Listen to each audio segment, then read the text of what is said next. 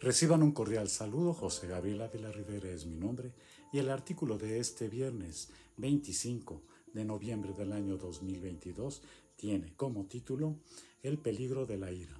El hecho de que no podamos dejar de respirar convierte a la enfermedad pulmonar como uno de los más frecuentes hablando en términos infecciosos e irritativos.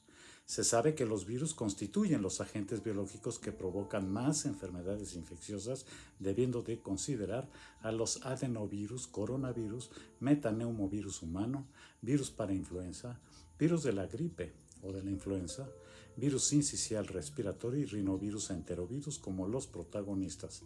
Al margen de la explicación técnica debemos entender que hay una exclusión competitiva que impide que dos virus compartan las mismas rutas de transmisión y el mismo órgano diana.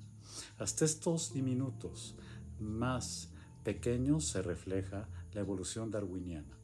Ahora debemos de enfrentarnos a virus distintos sin defensas adecuadas, pues el haber evitado estas infecciones no nos permite una adecuada identificación y por lo mismo una respuesta inmunológica deficiente.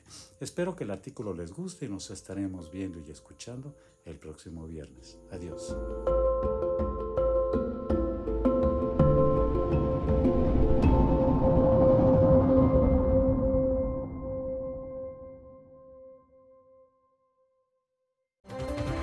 Síguenos en nuestro canal de YouTube y activa las notificaciones.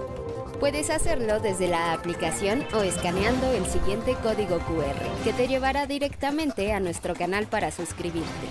Mantente informado sobre los acontecimientos más importantes a nivel local, nacional e internacional. Y accede a nuestras secciones de análisis y opinión, con periodismo de calidad del día a día. Recuerda darle me gusta y compartir nuestros contenidos. Y no olvides seguirnos en todas nuestras redes sociales.